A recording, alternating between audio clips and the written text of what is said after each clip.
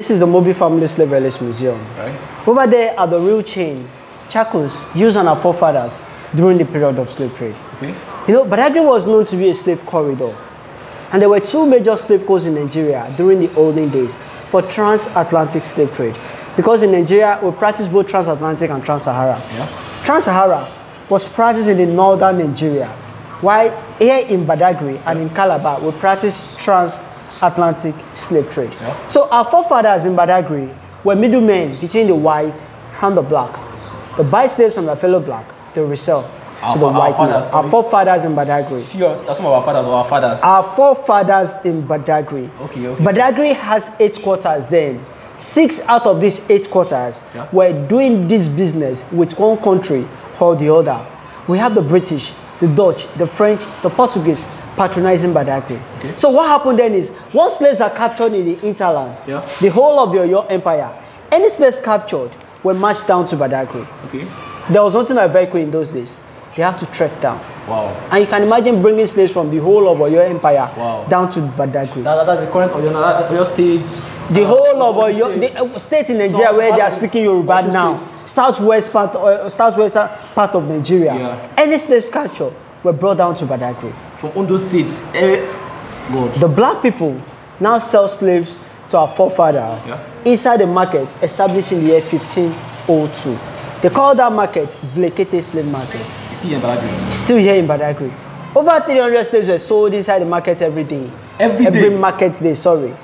And the 300 market slaves? days are every five days. So over 17,000 slaves are led out of this market every year. From the market to the barracoon. They keep them inside the barracoon for another three to four months. They make them eat, drink, urinate, defecate. Even while the women are observing the Mesa circle, they do it on each other inside the room for another three to four months. And from there, they cross them to the other side of the water. They call that place the point of no return. At the point of no return, they force them drink from a particular water. They call it spirit attenuation well. As soon as they're forced to drink from it, they force them make some recitation. And so they become less aggressive. They lose their memory. And from there, they, they take them to the ship and take them out of Africa. Most of the time, they overload the ship. A ship of 1,000 capacity, they can decide to put 1,500 slaves inside. And by the time they get to the middle of the Atlantic Ocean and the tides are high, for the ship not to capsize, they pick up some of the slaves And throw inside the- them inside inside, the the, ocean. Atlantic Ocean. That so is it is not all the slaves that left the shore of Africa that get to where they are taking them to. Or whenever they feel that one or two of them are sick, for them not to infect others with such sickness, they pick them up and drop them inside the Atlantic Ocean. So, the slaves taken from here, some of them were meant to work in the house, while some work on the farm. Those working in the house are called domestic slaves. Most of the time, the male domestic slaves are most time castrated. They castrate Why? them for them not to impregnate the wife or boss. children of the master. Oh. They use the female domestic slaves as wet nurse. The white men will not want the breast of their wife to lose shape. So most times they don't allow their wife breastfeed. Once they decide that their wife is pregnant, they impregnate the black woman working with them in the house. And the black woman will be the one to breastfeed the child of the master. So most times they kill the baby of the black woman or collect the baby from the woman and give it to another woman breastfeeding inside the farm. The plantation slaves work in the farm, and most time they were not allowed to talk or eat while working on the farm. For slavery refused to work inside the farm. They punished them publicly. And that will serve as a deterrent to other slaves. Now, most of the slaves taken out of Africa were taken to Europe. And at a time, by the time they have higher number of slaves in Europe, they begin to terrorize the Europeans. And so these people went to court with the slaves. And the judgment for the abolition of slave trade in Europe was made in Europe in the year 1772. But this good news got to Badagry in the year 1852. It was in the year 1852 our ancestors in Badagry signed a treaty with the British. Remember, I told you we have the British, the Dutch, the French, and the Portuguese. Yeah. So when they signed the treaty with the British, the treaty only affects the Portuguese, uh, the British, not other country. Over 100 years. So after signing the, uh, after the judgment in 1772, the British signed the treaty of the abolition of slavery with our forefathers in Badagry in the year 1852. that does not end the trade. The Portuguese were still coming to buy slaves in Badagry. And so the man buried here waged war against the Portuguese in the year 1888.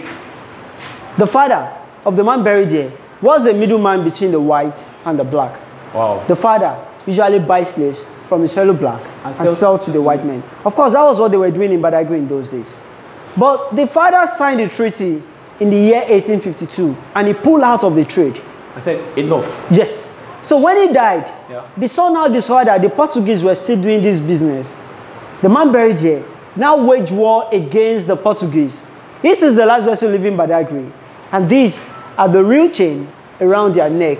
The chain here has been in use about 350 to 400 years before this is the chain in the year 1888. So these chains are over 500 years old. This particular change here. Yes, sir. This is called the neck lock. Oh, this is heavy. Please carry from the Can can, I, can, I, can, I, can, I, can I put it on? Yes. God. Wait.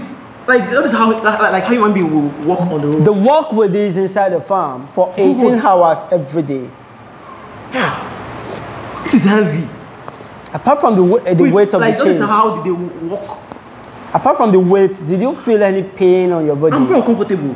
Now, our forefathers, while traveling, we have to travel with these around their neck for another three to four months before they get to their final destination. Four months. Like I don't understand. Like like like, like, like this now. They work with these inside the farm for 18 hours every day. A chain can connect two, three, four, five people. this is heavy. Like I'm very comfortable. My, my, my, my neck. Look now. See, see my see, see now. See. Bro, see my neck. See my neck now. See. Yeah, See. yeah. And you, you also feel pain on your chest. Yes now. Yes now. See now. It's, it's, it's on my chest already. Yeah. So they call this the neck lock for the neck of the slaves. This is called the mouth clip. And this is for the mouth of the slaves. Slaves working inside the farm were usually not allowed to communicate to one another. Why? The white men are afraid that white slaves are working and they are communicating, they can plan on how to attack their masters. So they usually pierce their lips with iron. Yeah. So something like this. Come, bro. They perforate the lips of the slaves. So something like this. Eh? The lower, yes, the lower and the upper lips. In the morning, while going to the farm, this goes to the mouth. Padlock. They now padlock it. Why? For them not to talk or eat while working on the farm. The white men are afraid that white slaves are working and they are communicating. They could plan on how to attack their masters. Or for them not to eat while working inside the farm. Remember, I told you that the plantation slaves, the, uh, the, the, field, the, the domestic slaves, the female domestic slaves, their baby were most time killed. Or they collect the baby and give to another woman working inside the farm. Now, for the children of the slaves working in the farm, not to be playing about the farm, so as not to step on what their parents has planted, they gather the children together. They chain their wrists with this size of with this size of the chain. Three, four of them together. Ah, ah, make wait. them sit down under Wait, a tree, wait. far away That- from that- their that- parents that's- are oh, working. This is not one person. No, no, no, no. Okay. Like two, three hands, they join together and they chain. You know they are babies. Okay. Yeah. Yeah. Yeah. So yeah, they yeah. join them together, make them sit under a tree, far away from where their parents are working. This is a torture weapon, and this is for stubborn slave who refuse to work inside the farm. Stubborn slave who refuse to walk, they force this into their hand down to the wrist. What, what, like, what, what, what, does- that do, do, do, to the Sorry. They force this to the wrist. This will not go in easily, so most time they break the bone to force this to the wrist. After forcing this to the wrist of the slave, they will now make them climb the platform, unscrew this side, and screw it to another tall tree up. Then the slaves, the master comes down from the from the tree and remove the tree from the leg of the slaves. So the slaves will be hanged on the tree from morning till night. In the course of doing that, most of them die. The white man doesn't care because our forefathers were using in exchange of high terms. This is called the branding iron. And this was used in writing name of slaves. Slaves don't bear name during the period of slave trade. They bear the name of their masters. Yeah. For the master of the slave to be able to identify their slaves, they put this in fire. When this is red hot, they will now use this to write the name of the owner of the slaves on their body, On their body. either on the chest or at the back. Look now. This is. And this is what we now adopt as fashion today tattoo. The second function of this is to pierce the lips of the slaves. for them to be able to padlock their mouth. The last function is to punish the foot, or is is to punish someone slave who tried to run away being captured. So any slave who tried to run away being captured, they put this in fire, then put the leg on the fallen tree and hit this into the Ah! foot to pierce the leg or break the bone inside the leg. If you have watched a film called The Roots, you understand what I'm talking about better. And this is called the Hanko lock. This is for the leg of two slaves. Please move back. Two slaves are meant to walk with this Bro, capture. around their leg at the same time. Wait, why is he putting on this chain? Yes. Like, ah, okay, how can you able to, even So they have to drag their foot Ah, on the floor. It will be very difficult for them to run with this around their ankle. Wait, are we this on, time. on their ankle? Yeah. And this on their neck? on their neck. and, they, and, and, they, and they will still walk miles away. They don't care. They use this to reduce their movement so as for them not to run away. This was the money we recognized back then in Africa. Yeah, the cowries. Cowries. But cowries was only recognized by we Africans as money. Okay. The white man doesn't see this as money. That led to the introduction of trade by barter. So they bring in items like gun, gunpowder, dry gin, cotton, iron, mirror, tobacco to exchange for a human being. A bottle of dry gin back then was exchanged for 10 slaves. Can I, can I touch? Yes, you can. Wow. A bottle was exchanged for 10 slaves. Mirror. Is this original bottle from No, no, no, no. The one we have has broken, so we have to use this Okay. as example. Okay. A bottle for 10, mirror for 10, Okay. and umbrella for 40. This is a cannon gun. Hmm. And this size of the cannon, yes, you can. This size of the cannon gun was exchanged for 40 human beings. The big size of this for 100.